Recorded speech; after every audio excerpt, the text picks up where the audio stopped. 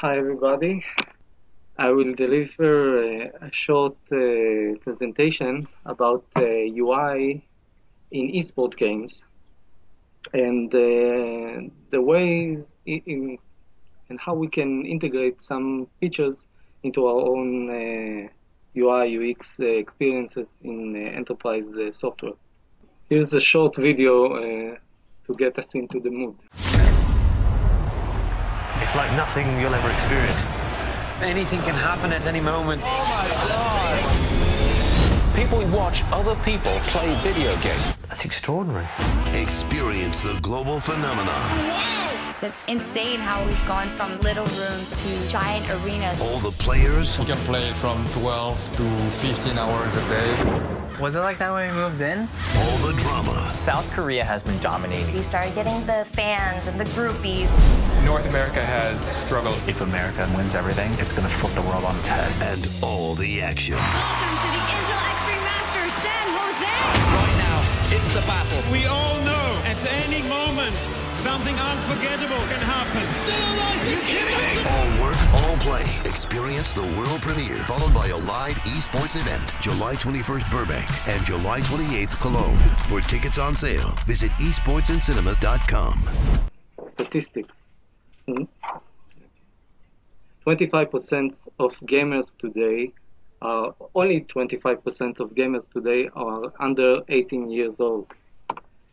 49% uh, of gamers are 18, from 18 to 48. 67% of uh, households in the US today play video games. And 40% of uh, all the gamers are women. The average gamer age is 34. That's the gamers' the demographics today. So what is esports? Uh, the general term refers to competition between a number of players in a video game. This is uh, the earliest esport competition took place in, on October uh, 19th, 1972 at Stanford University for a game called uh, Space Wars. In the in the 80s, uh, was the first was the earliest large-scale esport event. Uh, that was the the Space Invaders Champion, Championship held by Atari, and it was uh, more than 10,000 players participated.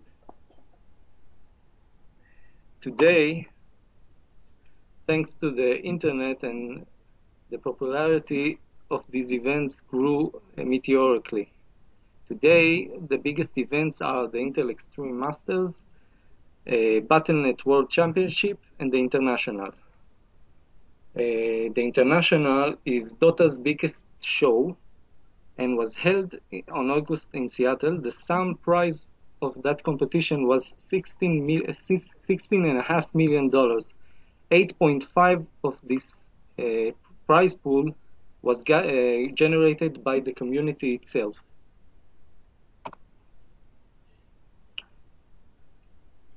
So uh, the UI in those uh, in those games, the main difference in game in UI, game in UI, the UI in games from other UI design is the interaction with a fictional avatar. The user be, uh, the user becomes invisible. Uh, main uh, genres of uh, esports today are RTS. A typical game of RTS uh, feature resource gathering, base building, and in-game technological development, and indirect control of units. The task uh, the tasks a player to perform and succeed in an RTS can be very demanding, and complex UI user interfaces have evolved to cope with that with that challenge. StarCraft 2 is the the main uh, game that uh, that the player participate uh, in esports. this is the the start page. It has a typical UI of a communica communication hub, which enables the, the players to interact and notify them about special events and news. Uh, the matchmaking screen is where you find your online competition. During during the game, you are fed information in various hubs. There's a typical counter that helps you uh, manage your resource. Uh, the minimap, but, and by deploying uh, scouts, you can map control with uh, with a glimpse to the side of the screen, see the enemy movements, and plan your future attacks. By, by clicking on various game elements, such as buildings and units, you get data specific to that element in the, in the form of status and action commands. The game environment itself is used by the player to gain more information, such as the status of his economy by the size of the crystals in the mines. Uh, during engagements, all these elements are being used by the players simultaneously, and the quicker thinker prevails.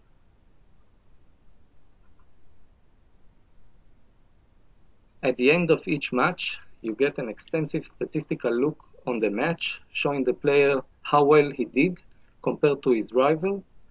By studying the, the play-by-play elements, you can better yourself in the next match. and uh, this is what you fight for. Players get a recognition for their effort with a badge that shows their skill level to the world.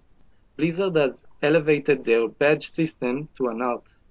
Since uh, they started with the various league badges and then adding badges in, uh, inside the leagues once they re- realized that less avid gamers got frustrate, frustrated when they didn't get acknowledged for their effort if they didn't progress to a higher league.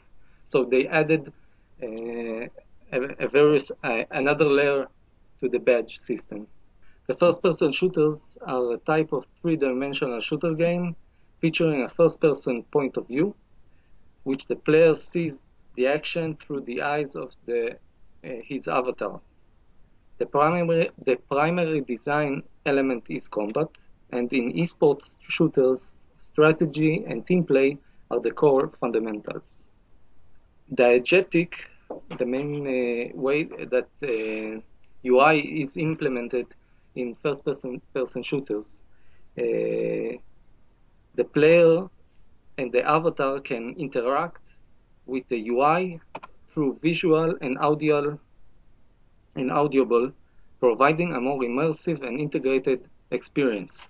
You see the number of bullets that uh, you have on the guns uh, directly on your, the weapons itself, and you don't have uh, uh different UIs to show you how much uh, time you have or how much uh, ammunition.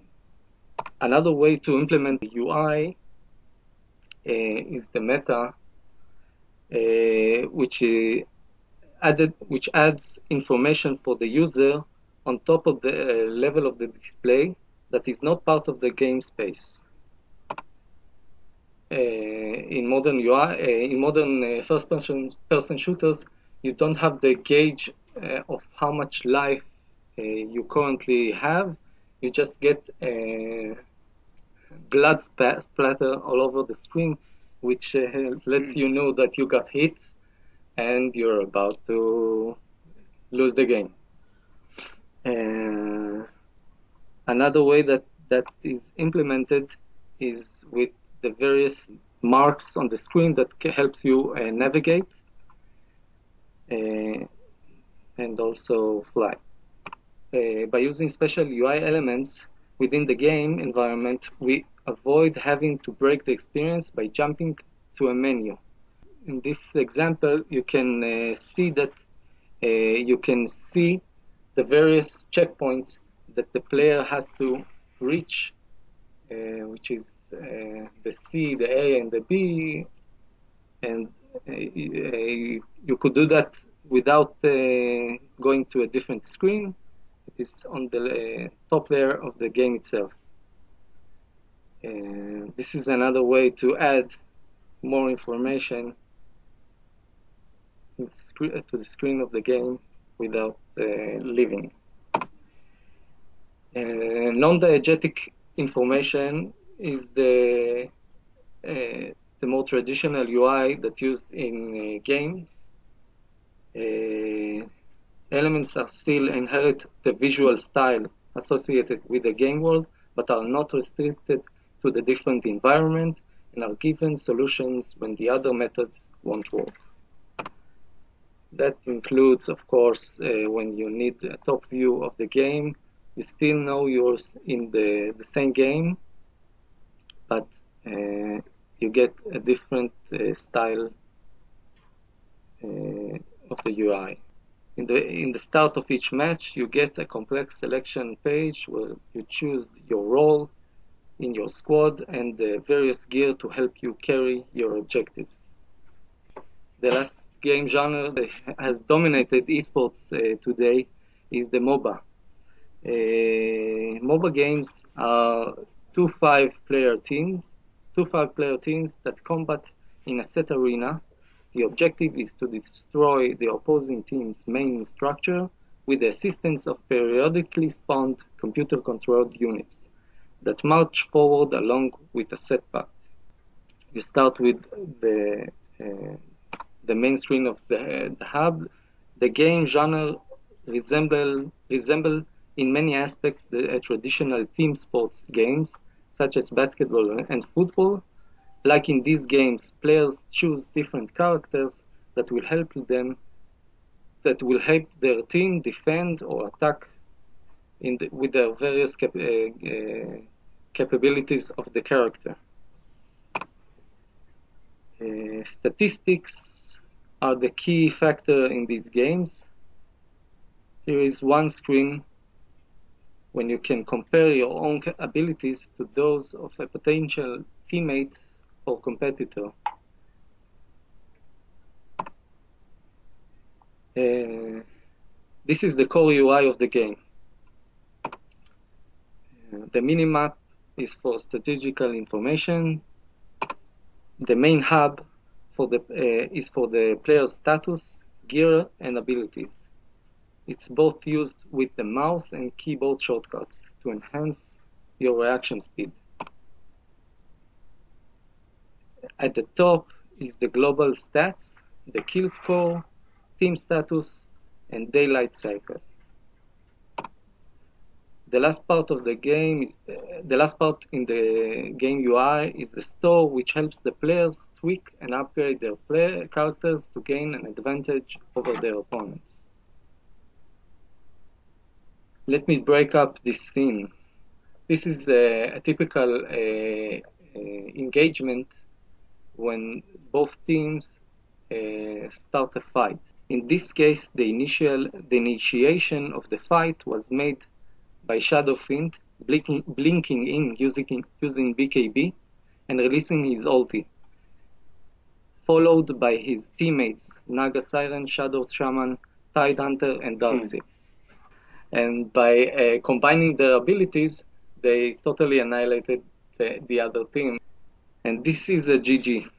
After the match is over and the dust has settled, you get a statistical view of how everyone did in the match.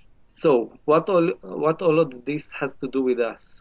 First, it's a wonderful compet- competitive world which I encourage you to try if you never did. Look around. Technology is all around us. We use it in every aspect of our lives. It enables us to do amazing things. But what if we could go further? What if we could go beyond the screen? Where your digital world is blended with your real world. Now we can. This is the world with holograms. What will they enable us to do? New ways to visualize our work. You know, I have an idea for the fuel tank. New ways to share ideas with each other. How are things going your end? I just put the images in OneDrive. Perfect. More immersive ways to play.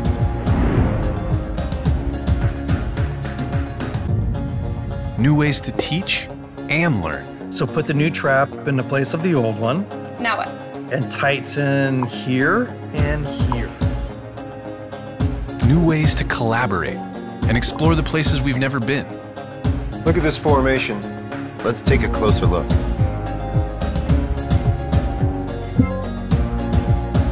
And new ways to create the things we imagine.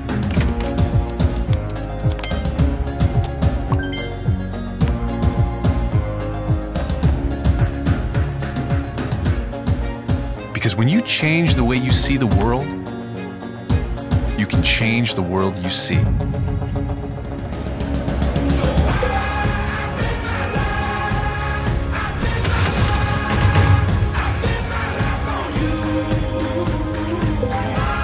This is Microsoft HoloLens.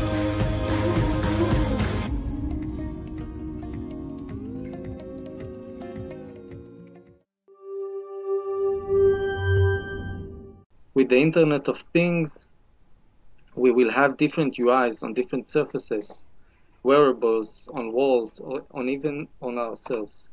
We will use it in our cars and uh, everywhere. So the UI will go with us and not just on our computers. By using uh, competitive and gamification elements, we can add a more immersive nature to the more everyday task and training.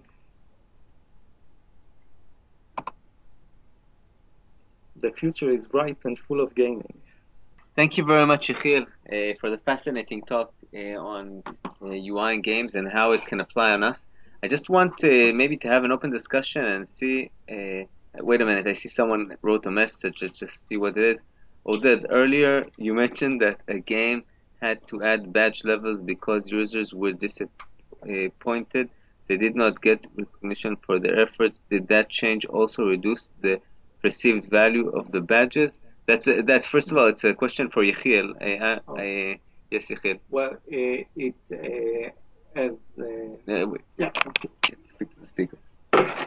Uh, the the first layer of the badges, which is the leagues uh, in the game, were the more important one, uh, and the more serious gamers uh, still ha- knew that th- those were the, the more important budgets, But the, the, the once they added the the other layer, the players which we didn't that didn't have uh, enough time to uh, to uh, be to train more in the game still could see that they could still progress inside the, the game. So veteran players uh, could uh, still strive for better leagues, and uh, more casual players could enjoy their periodically an advancement inside the, the league. Okay. I, I, just like, would like to emphasize, first of all, I think that it's a fascinating talk, Yehiel, uh, from uh, several perspectives. First of all, I think that uh, Uh, it encompasses uh, the world of gaming, and it's an interesting world by itself. But I think that more importantly, uh, I think that we in the enterprise UI can learn a lot of a lot of elements from these games. It's not only the, the, the future that Yehiel portrayed that how the future will be with devices or with overlay UIs. Uh, we look around us, even in our uh, existing applications, you can see some implementations that have been done uh, of badges. I think that uh, uh, I hope I'm not mistaken, but Timo Schneller from the OMI team um, uh, introduced a, a, badge system in uh, one of the in, as a concept, uh, and also gave a talk on gamification a few months ago. but gamifications and, and badges are something that are becoming mainstream inside enterprise UI. but more more more than that, I think that a lot about the UI itself that we see in games about uh, the levels and how the UI is laid out on the screen and, and, and combined together is something that we can learn from and implement in uh, enterprise UI as as, as much as, as it sounds far fetched, it can be reality. So uh, I appreciate the talk that Yehiel uh, took the time to share with us because he's a, a very uh, talented and very uh, uh, passionate uh, e-game player.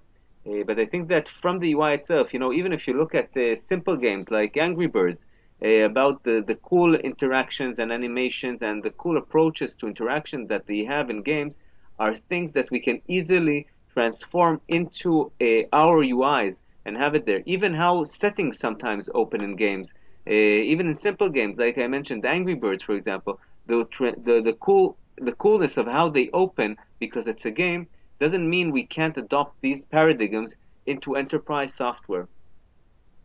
Uh, so uh, now, uh, is there anyone? First of all, we have here people in the audience in Yehud. Is does anyone have any question here? No. Uh, does someone in the audience have any questions? Uh, someone from the participants uh, on the call? Before we move to our next topic?